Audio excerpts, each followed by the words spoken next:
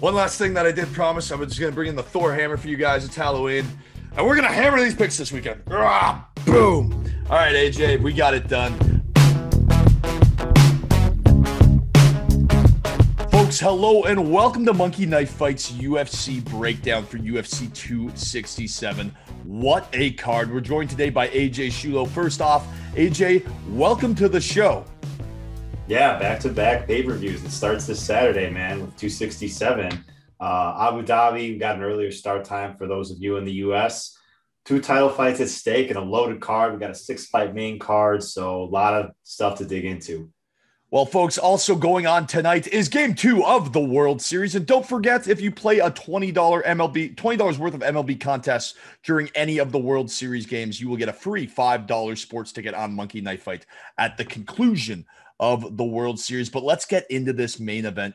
Probably two of the nicest guys you'll ever see around the sport. Most respectful guys ever. Jan Blachowicz, the whole time in the lead up for this fight, he's been saying how much he respects Glover Teixeira, even his last fight against Israel Adesanya. I think some people got to put a little more respect on his name. Jan Blachowicz, man, he is the real deal. And when I look at this fight play out, I think he's got better jiu-jitsu. I think he's a better striker. And we've seen him uh, regionally get Muay Thai titles and Jiu Jitsu titles. So I really am leaning towards Jan Blachowicz. I just think he's a better, younger, stronger, faster version of Glover Teixeira. Glover Teixeira, obviously, second title fight. Um, lost to Jon Jones seven years ago. Back in there would be a great story. As far as it pertains to Monkey Knife Fight, I think these two guys are as tough as nails. Glover's really sharpened up his boxing, and he's shown that he can eat some punches, but that Polish power – I don't think he can take 108 shots of that Polish power to the head. Uh, and if, if, if Jan Blachowicz wants to tee up on him, it could be a long night. But I do think Glover survives into the championship round. So I'm taking the, the more and the more on the monkey knife fight strike line. But I think Jan Blachowicz and the Polish power will be too much in the later rounds for Glover Teixeira. Yeah, that's fair. Uh, we see it a little bit differently in terms of the MKF uh, side, but in terms of the matchup, we agree 100%. Um, yeah, Jan. Uh, the thing I am worried about is his takedown offense. He hasn't really been tested there a whole lot in recent years. The last time I really saw him taken down was by Krylov back in 2018. I didn't like how he was defending there. He got taken down easily from a single leg. And uh, yeah, since then, I'm sure he's improved. But uh, again, Glover's a really good wrestler, man. Like you talked about, tough as nails. Even when he's rocked, he'll get the double leg against the fence and then just dump you. Um, so I'm a little bit worried about that on the Jan side, but as you mentioned, he's really good at jiu-jitsu, a Brazilian jiu-jitsu black belt. He could probably survive with Glover on the ground.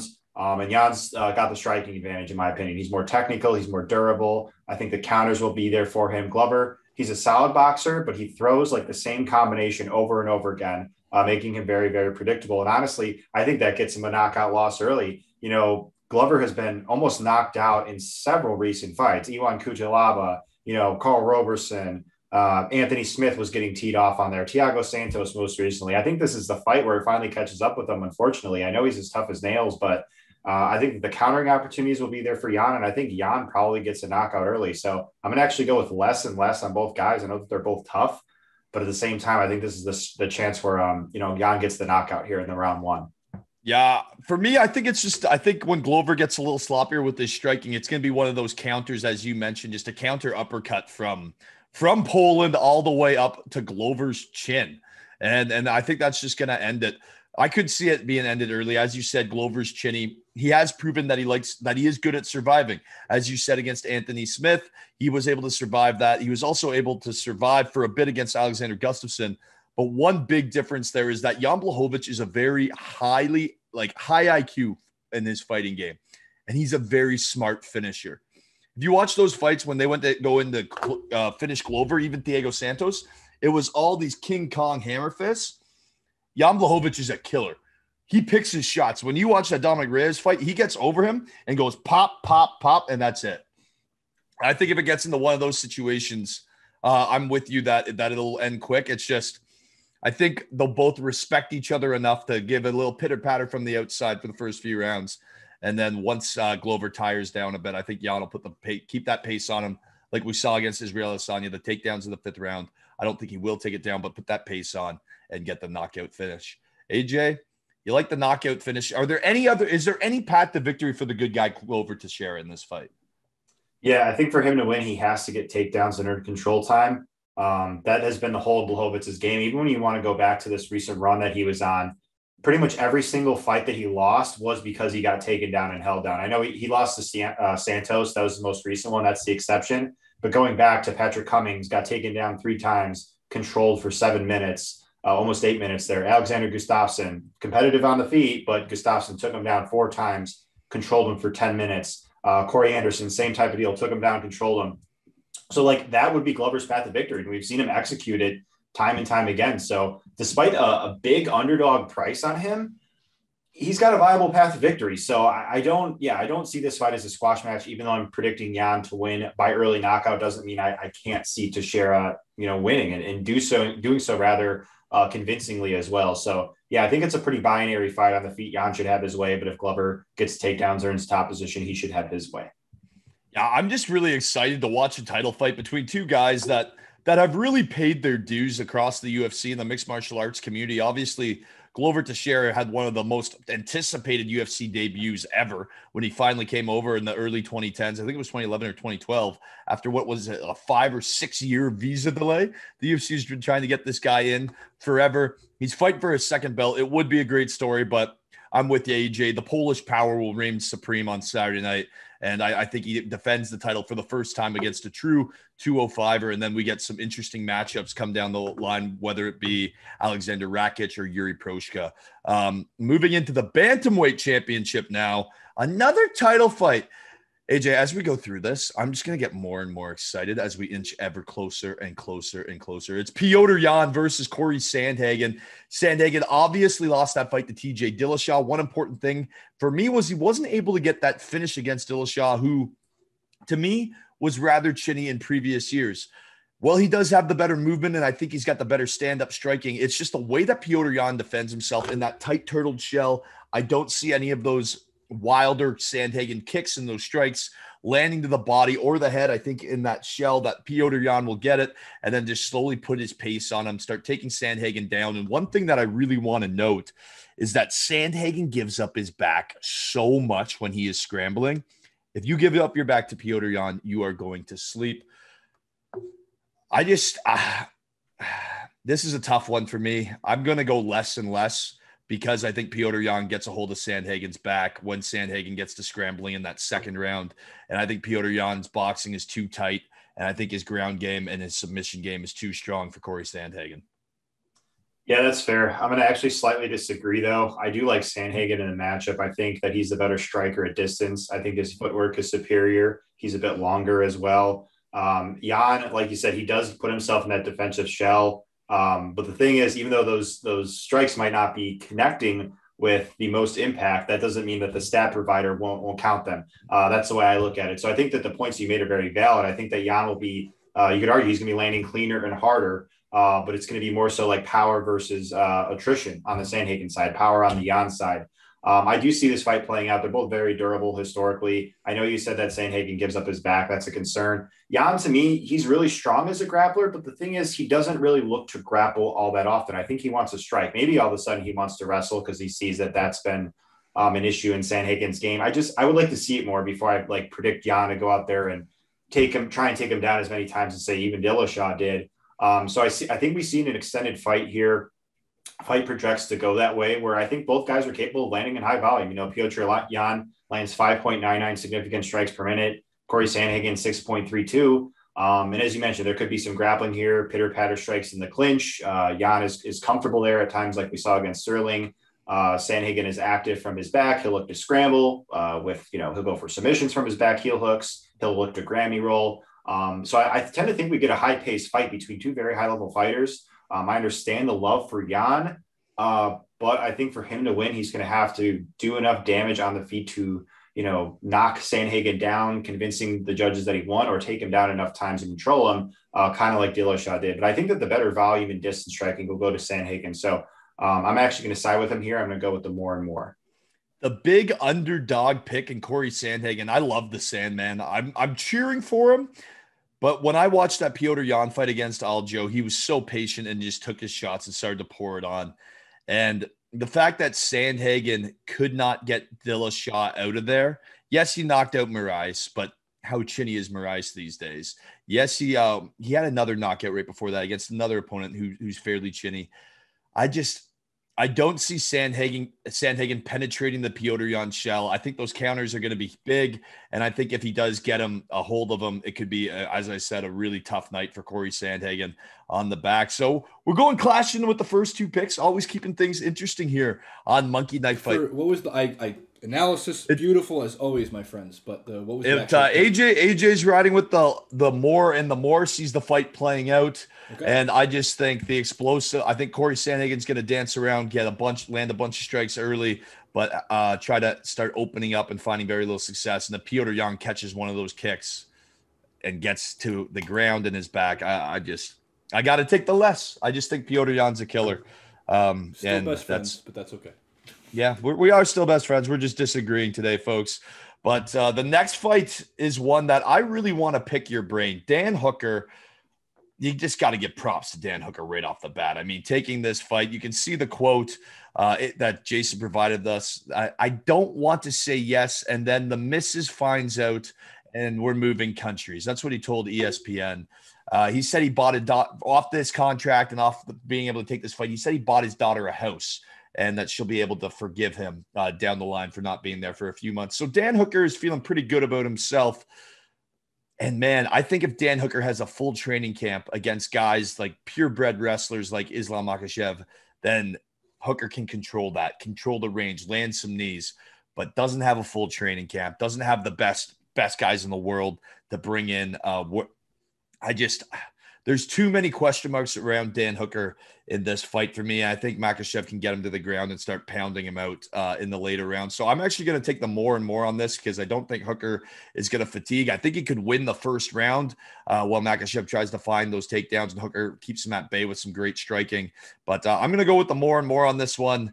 And I like Islam Makhachev, unfortunately, although for two straight fights, I'm cheering against my own pick, which always makes things exciting come Saturday night. Yeah, as you mentioned, like Hooker by far is the most proven fighter like that Makhachev has faced. Uh, not the best fighter in my opinion, because I actually think Arman Tsarukyan is a stud and potential future champion, but more more certainly the most proven fighter is Hooker. Um, and he could theoretically knock Makhachev out on the feet. We've seen Makhachev knocked out. Um, he did, you know, buckle from a jab there from uh, Davi Ramos. Uh, but the thing with Makhachev is he's so good defensively, absorbs 0.77 significant strikes per minute with 70% defense that is super impressive, man. And um, there there is some merit to maybe those stats are a bit uh, you know not accurate to the style that Hooker brings. Hooker's longer, five inches of reach, couple inches taller, just a better striker at range. Um, but nonetheless, the point still stands. Islam doesn't like to throw in combination a lot because he likes to slip out of way, close distance effectively, and get the fight to the ground. And uh, until I see uh, just somebody stuff Islam, I, am just going to assume they can't stop his takedowns. Hooker is actually a pretty strong defensive wrestler uh, and he controls range well, but he was taken down easily by Poirier. He has been taken down in the past by or that by wrestlers that aren't anywhere near on Islam's level. So I don't see why Islam can't get the fight to the ground. From there, uh, he is active with his ground and pound. You know, against Thiago Moises, landed 148 total strikes, 61 of which were significant. Drew Dober, a fight that lasted a little over three rounds, 15 significant strikes, but 102 total strikes there. I think that we see Makhachev go over uh, his uh, monkey knife fight total there, but I actually think we see Hooker go under because it's going to be tough for him to land at will against Makhachev on the feet. And even if he does land on Makhachev, you could potentially get a knockout there, in which case the less would cash even more. But more so, what I'm investing into here, Hooker gets put on his back, struggles to work back up, uh, and as a result, he just doesn't meet his threshold there. So. Um, like I said, there's some there's some risk with Makhachev here. You know, again, Hooker's a better striker, especially at range. But I think that ultimately Makhachev will be able to control where the fight goes and then have his way, which is why I think he's rightfully favored. Um, well, one thing to think about there, I just is the Makhachev like I agree, I'm sold on his wrestling, but the level of opponents face like Dan Hooker would eat some of the guys that Islam Makhachev has fought and taken three rounds, like eat them out and chew them out in five minutes. And I think Hooker's going to be able to use his range early and get a lot of strikes out in that first round because I think that's what, as you alluded to, his path to victory is a knockout. And the best thing that we've seen Dan Hooker is those combinations when he gets you against the cage. He puts his head into your chest and he just starts throwing hands. And it's so awesome to watch. And it's so entertaining. And I think he can bring that pace in the first round. And that's why I like the more and the more. I'm completely with you on the Makhachev side. Um, yeah, the pitter patter strikes on the ground and pound. I think Hooker will be punching up because I don't know how he'll get up. And I know a lot of analysts are looking at the Nate Haqparast fight and going, well, Haqparast, he took Hooker took down Haqparast. Uh, Haqparast and Makhachev are not on the same level uh, level of wrestling, like not even remotely close. So do not use that as oh Dan Hooker can hang with Makhachev on the ground because uh, he won't. I have Daniel Hooker winning the first round, using the strikes with the more, and then Makhachev putting the pace on for rounds two and three, and Hooker, as you said, AJ, on his back. Now, also another thing, a lot of people, because Jason just put this in our chats, think that Khabib is undefeated as a coach. He's actually not. He's been in the corner before as, as when he was actually active in the UFC and lost like his first three fights he cornered for. So there's a, there's a fun fact for all you kids at home. You can look it up because yeah, that's one of my favorite things to just. Um, Khabib's a great fighter, don't get me wrong, but uh, he's not an undefeated coach, folks. Sorry, Khabib fans, but but uh, straight facts coming at you. And here's a few more straight facts coming at you, folks. Monkey knife fight, $2,500 in the KO King prize pool, minimum $5 entry. So you select three fighters to get all three knockouts on a minimum $5 entry. If all three of them do it, you're in to win your share of $2,500. I think Jan Blachowicz is a pick that both of us like there based on our breakdowns. Um, yeah, the Polish power reigns supreme on Saturday night. I, I love that pick. AJ, who do you like up next? I'm going to go with Magomed Ankalaev. Um, he's taking on Volkan Oezdemir, who has been knocked out in uh, two.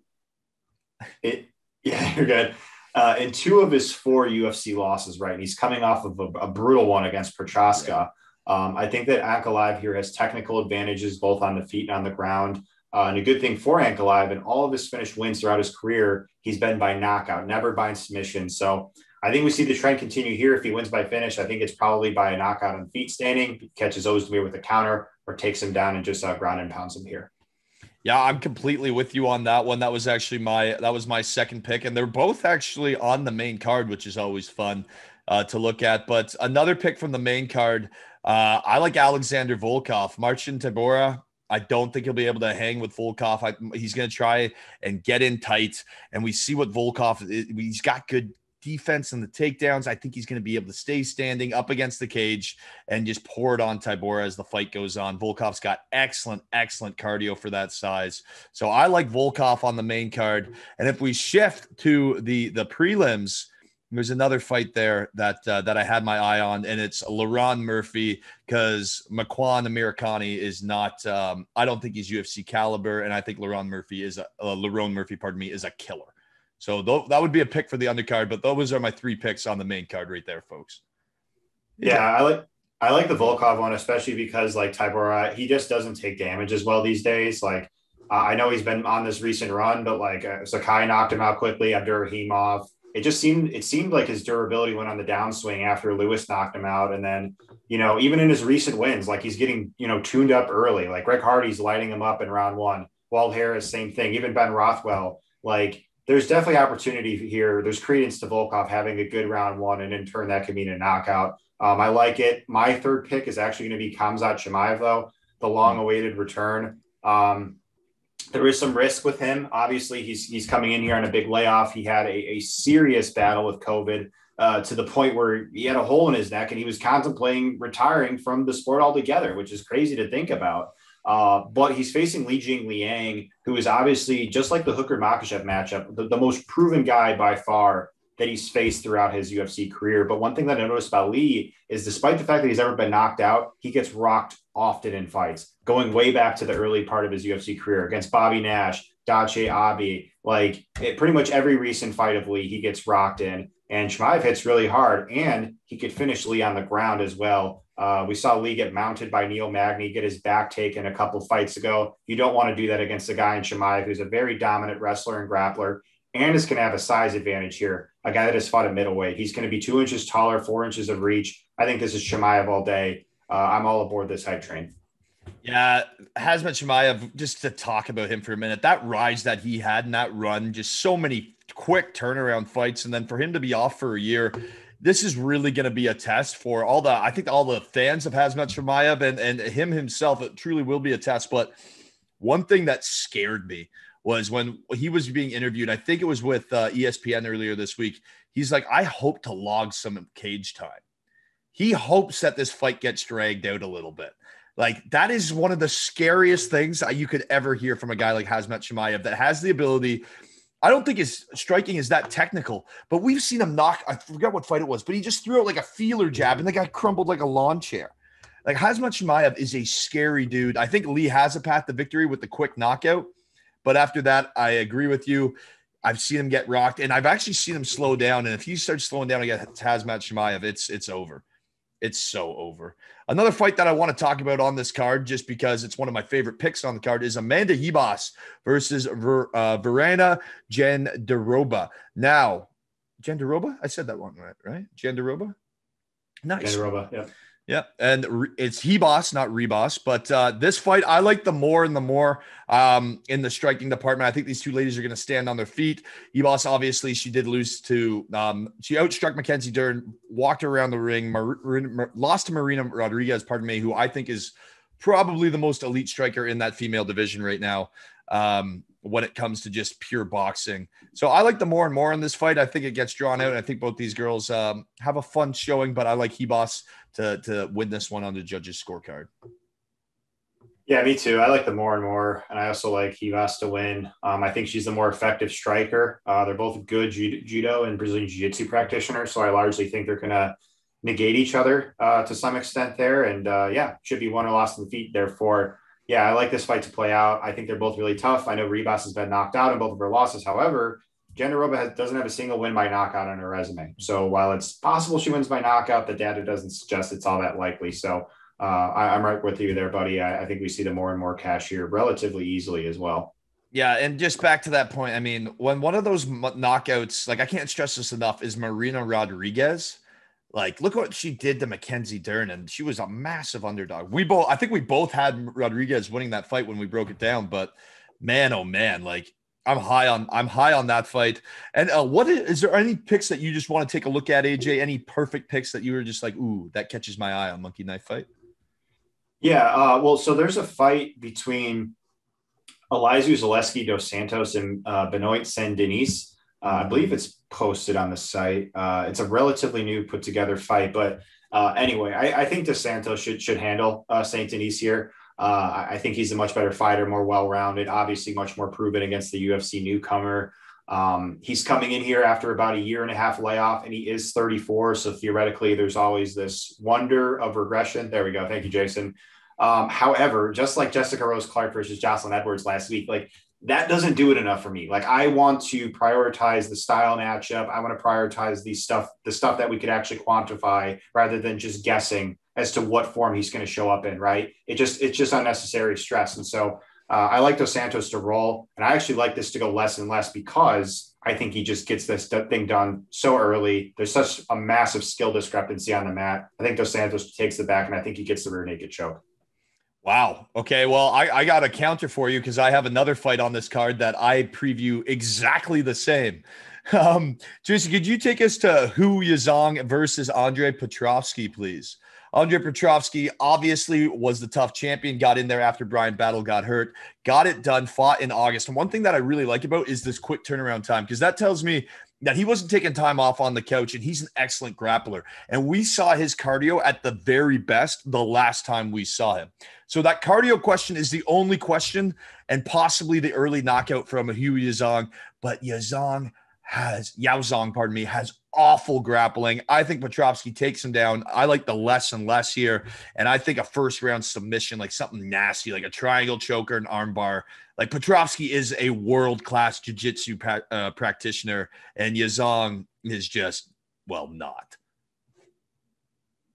Yeah, that's fair. That's fair. Yaozong, all four of the takedown attempts that he was faced with in the UFC, he got taken down and against Askar. And again, just like we talked about, it's all fine and good to think the guy's improved. I'm sure he has. But is it enough to stop the takedowns of Petroski? Eileen, no. Petroski has a wrestling background. He's dominant in top position with his ground and pound. And Petroski, the vast majority of his wins are are in the first round via ground and pound. So I think conceptually, what your take makes a ton of sense. Perfect. Well, we like the less and less on that one too, folks, and um, maybe a KO King finish there for uh, Petrovsky if you want to mix them in. AJ, any final thoughts? Any final bets that you want to take a look at on Monkey Knife Fight before this unbelievable card? Yeah, just to quickly uh, touch up on on one more fight be- before we head out of here. Well, uh, firstly, I like to say that you know we're most likely going to be recapping this this awesome pay per view card afterwards. So the viewers, uh, please be sure to tune in. Then uh, Conner and I uh, will be most likely be on Twitter Spaces. So please be sure to check us out. Uh, but one last fight that I'd like to touch on, just from just a general perspective, is um, the fight between Magomed Mustafayev and Damir Ismagulov. Um, I think that Ismagulov is rightfully the favorite here. I think that Mustafayev is largely knockout, uh, uh, knockout in round one or bust. Uh, we have seen him slow down in the past. He defends takedowns at a rate of 23%. Ismagulov is another Russian fighter on this card who has a bright future, in my opinion. Um, and I think that we see him get his best win to date against Magomed Mustafayev, a guy that has been tested against guys like Kevin Lee, Brad Riddell. Uh, it's just one of the many incredible prelim fights. Um, looking forward to a to a showcase bout here. Yeah, I'm totally with you. I have Damir winning that one too. The guy's 23 and one. I mean, and he he pushes a pace in the UFC. Something to note that all four of his UFC appearances have have gone to decision. So I think it would be a great statement for him to go out there and get a finish. Now, AJ, did say that we will be on after the fights, but we have to let you guys know that these fights start at 10 a.m. Eastern time. We're back in Abu Dhabi, back in Fight Island, where Jan Blachowicz won his belt. He landed in there earlier this week and said he's back in his lucky place. That gives me a good feeling for that main event. I really like the Blachowicz knockout, folks. The main card starts at 2 p.m. It's headlined by Blachowicz and Glover Teixeira. AJ, any final thoughts of that fight card? Oh, it's going to be awesome, man. Yeah, looking forward to it. Uh, yeah, guys, please be sure to tune in. It, again, early start time, right? So early, you know, fights fights at breakfast. If you're Central Time, if you're you know if you're West Coast time, going to be wake up a little earlier, seven thirty East Coast. You know, West Coast breakfast. time. Honestly, West Coast time. Knowing those guys, those kind of people, they might still be awake. Halloween night, the pre of the pre before Halloween, might just be rolling in, grabbing a nice carton of chocolate milk, popping on your couch, eating some Froot Loops and having yourself a nice morning with some UFC prelims. And then you get to listen to us break it all down after. It can't be that bad a day. Yeah, what's better than that, right? So, uh, yeah, looking forward to the event, guys. Again, back to back pay per views. Awesome time to be a fight fan, and uh, let's do this thing. One last thing that I did promise I was just going to bring in the Thor hammer for you guys. It's Halloween, and we're going to hammer these picks this weekend. Ah, boom. All right, AJ, we got it done. Thank you so much for joining us, folks, here on Monkey Knife Fights UFC 267 preview show. That's AJ MMA. Find all his picks at ajmmabetting.com. Folks, I'm Conner Rowntree, and remember to hit it hard.